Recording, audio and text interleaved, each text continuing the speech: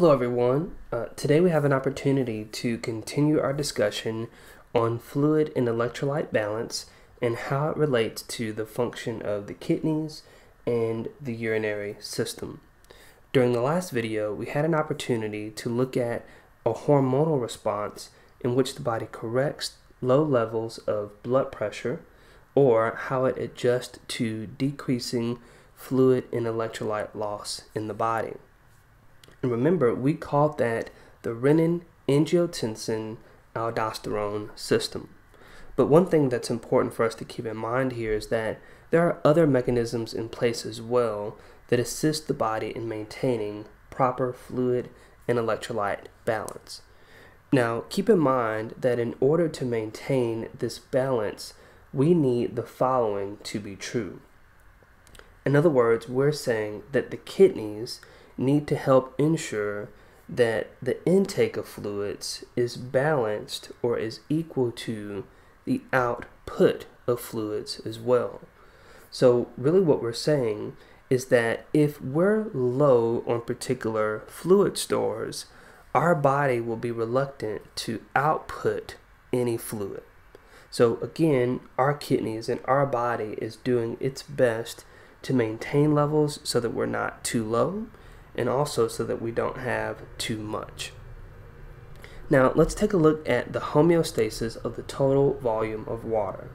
Now, this particular image that you'll find in your notes really represents something that we can call the thirst response. And so, this is really a negative feedback loop here. So, if you will, please feel free to label this on your sheet. Um, what we see here at the very top is that again the entire goal of the body, specifically the kidneys here, is to help maintain homeostasis. But let's imagine for a moment uh, that we have an athlete like the lady pictured here. Imagine that she's outside, she's um, exercising vigorously, or she's engaged in some kind of competition. She's definitely going to have some excess sweating that takes place. And as we talked about before, with excess sweating, we are going to lose water.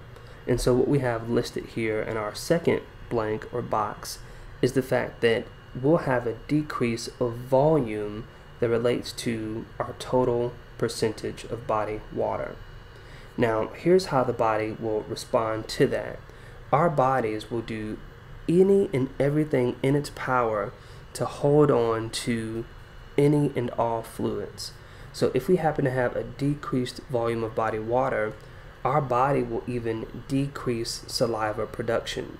Again, what our body's trying to do here is it's trying to preserve all fluids as much as possible. And so when we have that decreased saliva production, here's what our body does. It's going to give us that feeling or that sensation of having a dry mouth. And when we have that dry mouth sensation, that is meant to help uh, encourage us to increase our fluid intake. And when we do that as we should, that will of course lead us back to a place of homeostasis. So again, what we're saying here is that yes, we do have the renin angiotensin aldosterone system, but our body has other mechanisms such as the thirst response that are geared towards helping us to keep this homeostasis. So let's talk about this thirst response with just a little bit more detail. And this next section is labeled as the regulation of fluid intake. So, if you will, just a couple things for us to look at here, and feel free to create the schematic on your notes. Uh, the first thing that we'll list here is that this thirst response um, originates in something that we call the subfornical organ. I know that may be um, maybe a foreign term for you here, uh, but that subfornical organ is something that we'll actually find located in the brain. So I've got a picture here um, to hopefully help you see this a little better, and I'll try to zoom in here just so you can uh, see this. This subfornical organ, which we have the term highlighted here, uh, essentially sits just above where the hypothalamus is. And again, this is what we call our body's thirst response, or sometimes you may hear it referred to as the thirst center. So everything originates here as it relates to thirst. So as it originates at the subfornical organ, a message will be sent to the cerebrum. And after that message is sent to the cerebrum that alerts the body that um, we need to help regulate fluid and electrolyte balance, that is going to initiate the dry mouth response and or the feeling of thirst that we talked about just a moment ago. And so again, what that's designed to do uh, is to help encourage us to consume a beverage or something that has electrolytes in it to again return us to a place of homeostasis. Now, here's what we didn't necessarily talk about just a moment ago. It is possible to, of course, override that feeling of thirst. In other words, you could be out exercising, it could be hot and humid, you could know that you're thirsty, you could know that you're tired, and, they, and you could know that you're fatigued. But you could decide to ignore that and continue in your competition. Well, of course, we don't recommend that. And if you were to try to override that type of response from your body, that could lead you to being susceptible for heat related illnesses. So, in the South here, we're oftentimes hearing about things such as um, heat stroke or heat exhaustion. And those are essentially two of the most compromising situations uh, that can happen um, that relate to exercising in the heat and not being properly hydrated. So let's talk a little bit more about the regulation of urine volume. So during the last video, we had an opportunity to talk about diuretics uh, for just a brief moment. So I wanted to bring that back into this particular discussion. So remember that diuretics are products or medicines that are designed to increase the release of fluid from the body. But we also have some very naturally occurring diuretics um, or things that we consume often. That would be things like sweet tea, Coke, coffee, um, and alcohol. And so uh, these things, again, encourage us to release a lot of water or a lot of fluid from the body. Now, right next to alcohol, we've got an asterisk here, and we'll talk a little bit more about this. But the consumption of alcohol directly inhibits something that we call anti diuretic hormone. So, with anti diuretic hormone, this is released if our fluid and electrolyte levels are low. Now, anti diuretic hormone, the name of it kind of makes sense here. And so, this hormone is released from the pituitary gland to help increase water retention. So, you want to make sure you got that written down somewhere. Again, this hormone is released from the, from the pituitary gland to help increase water retention. Now, we also have something that we call natriuretic hormones, and there are several hormones that can fit into this category, uh, but the one that we're going to explore is called atrial natriuretic hormone. And so, what I'd like to do for a moment is kind of break down what this hormone represents specifically.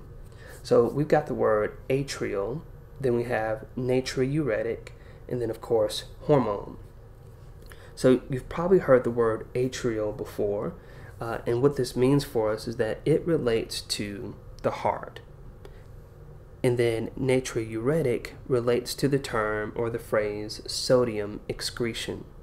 So one thing that might help you keep this um, together or understand this uh, is at the very first part of the word natriuretic, you have the letters Na. And so Na, of course, if you think back to our periodic table of elements, that refers to sodium. So again, atrial natriuretic hormone is a hormone that actually comes from the heart, and we're going to see here that it plays some kind of role as it relates to sodium excretion. So here's the overall physiology of how this hormone uh, helps us. So let's imagine that we've had someone that has increased blood pressure. If they have increased blood pressure, this, of course, is going to be sensed by the heart. And as it's sensed by the heart, the heart will help to release atrial natriuretic hormone. And what that will do then is help to increase sodium excretion. And if we can increase sodium excretion, uh, what that will do is actually lower blood pressure. So, again, what we're looking at is really a negative feedback loop because we've had the reversal of a process. So, let me do just a very quick terminology recap with you. Um, we've talked about two terms that are similar, and we want to differentiate between the two. Uh, diuretic here relates to the excretion of large amounts of urine. And then again, natriuretic refers to the specific excretion of salt in the urine. So let's go back for just a moment here. Uh, earlier, we had an opportunity to talk about factors that alter fluid loss under abnormal conditions. And hopefully, you'll remember that we talked about diarrhea and vomiting being two of the ways that we can lose uh, extreme amounts of water, essentially in one setting. And so remember, the question that we posed is well, how do we correct this? And so, if you're answering this, remember we said that we would want to encourage individuals to replenish their water stores and to increase their consumption of electrolytes. And so, again, the question is why? Why do we want to encourage them to do that? Well, remember that as we increase electrolytes, we're going to help someone increase water stores. So, kind of piggybacking off of that last section that we just talked about, let's look at the effects of dehydration. And I understand that this may be a little bit blurry, um, but I'll try to zoom in here hopefully so that you can see it better. So, what this image is meant to do is to showcase the signs and symptoms that relate to having increased amounts of uh, body weight loss due to dehydration. So, if we happen to lose, let's say, roughly 3% of our body weight after some kind of uh, exercise session, um, what we're going to notice here is that we're going to have decreased blood volume and we're going to have impaired physical performance. So, again, if you've lost that amount of your body weight after engaging in a bout of exercise, your physical performance is going to be severely impaired.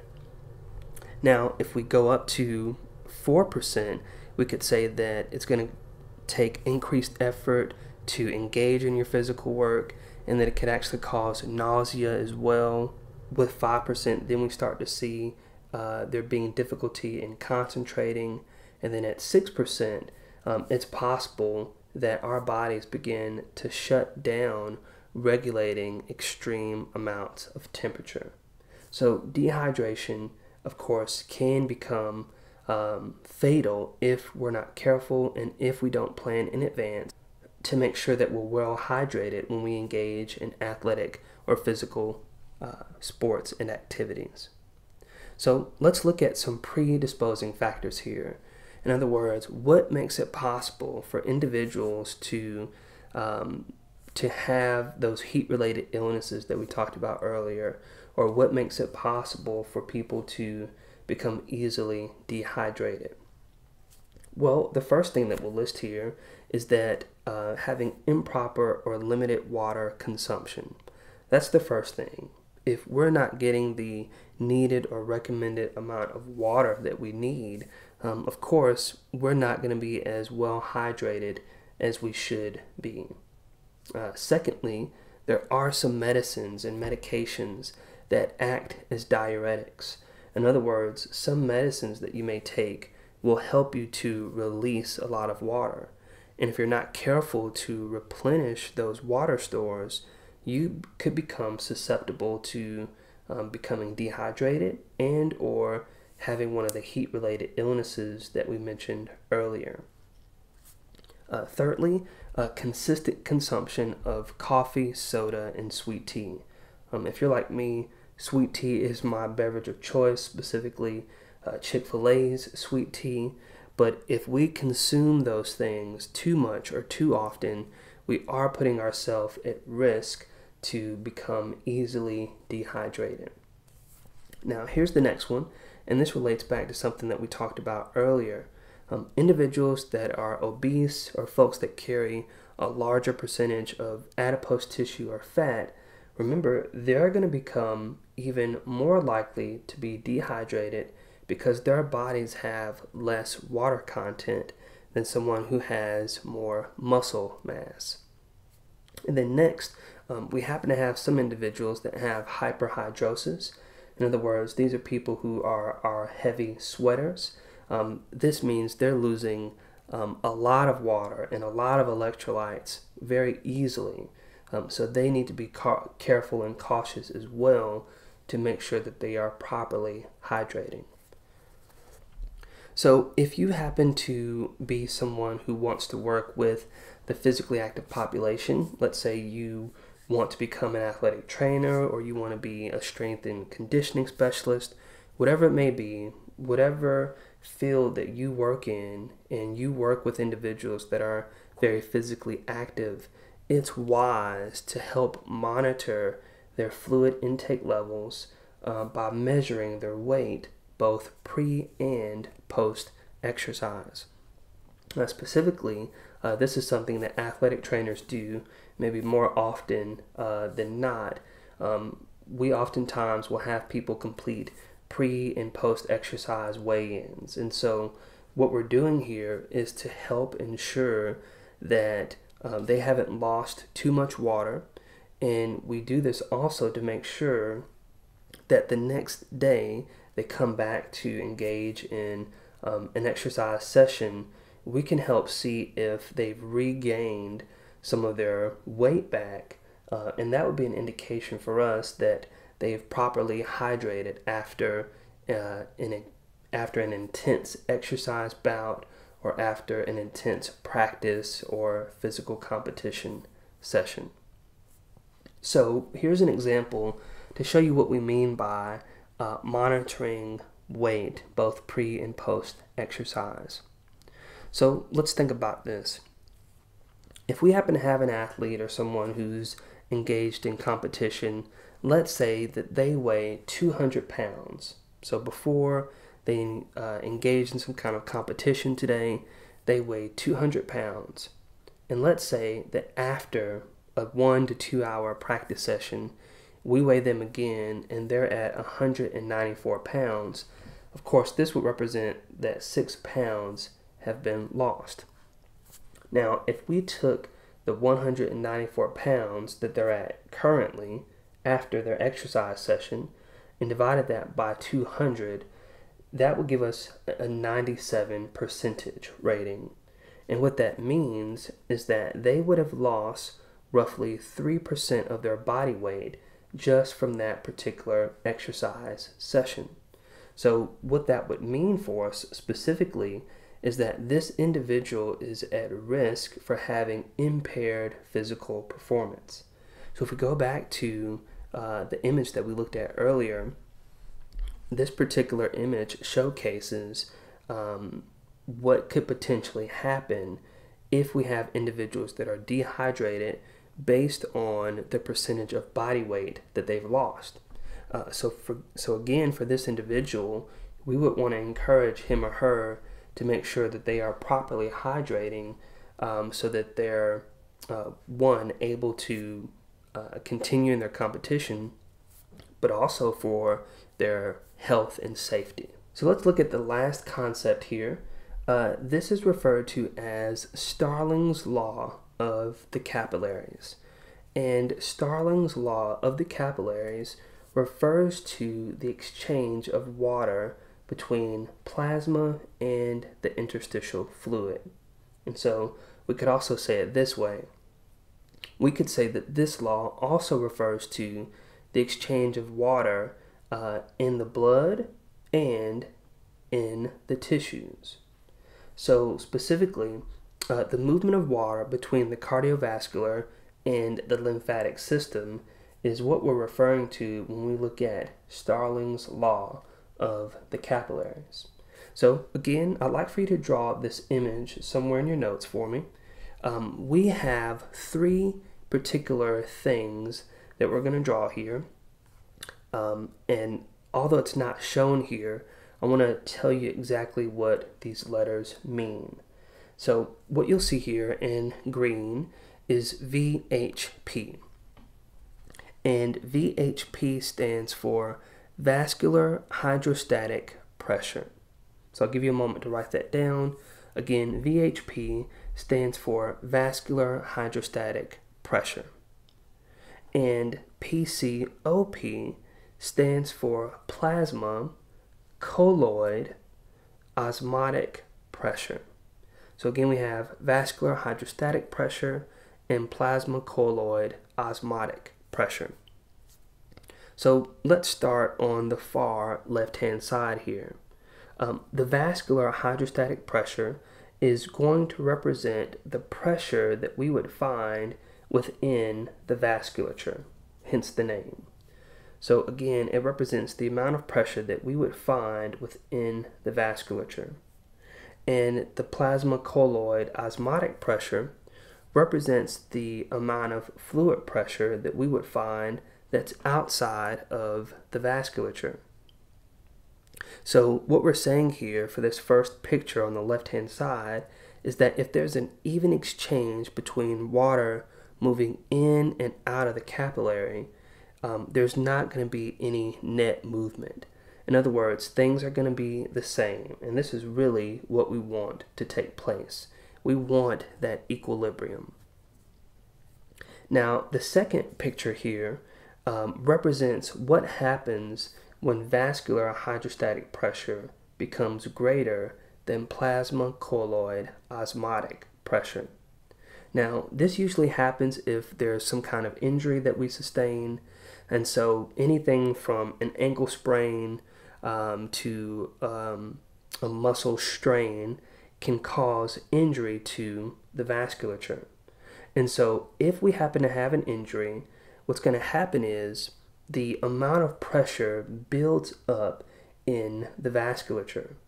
And that pressure builds up so much that the fluids from the vasculature begin to pierce through and leak into the extracellular space. And so, what that does is simply just relate to the fact that we have swelling that takes place. And so, um, what we would typically want to do um, here is to manage swelling as best as possible. Um, swelling represents the fact that the healing process is taking place. So if you remember, we've talked a little bit about this before. So remember that we said swelling represents the fact that the healing process is taking place. So what happens is we'll initially see an injury to the capillaries first.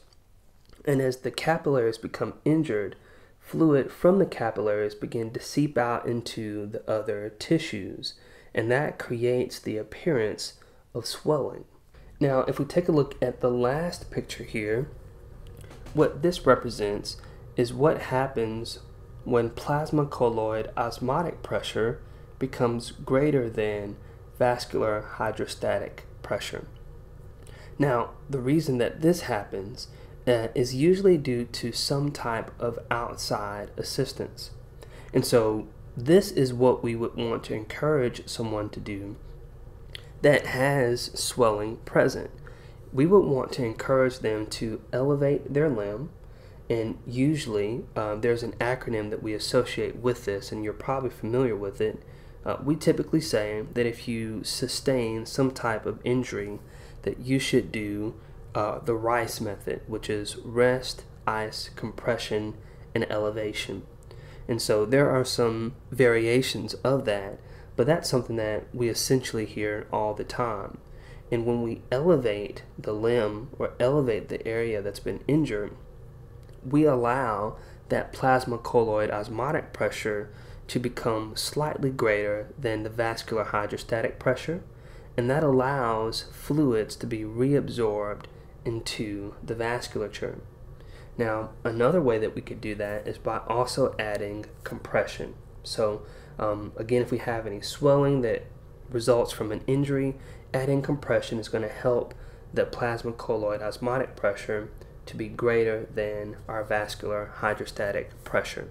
And again, this just simply relates to the reabsorption of those fluids. Well, that's it for this particular video. I hope this was helpful. Um, as before, if you have any questions, comments, or concerns, please don't hesitate to reach out. I'd be more than happy to assist you. Thank you.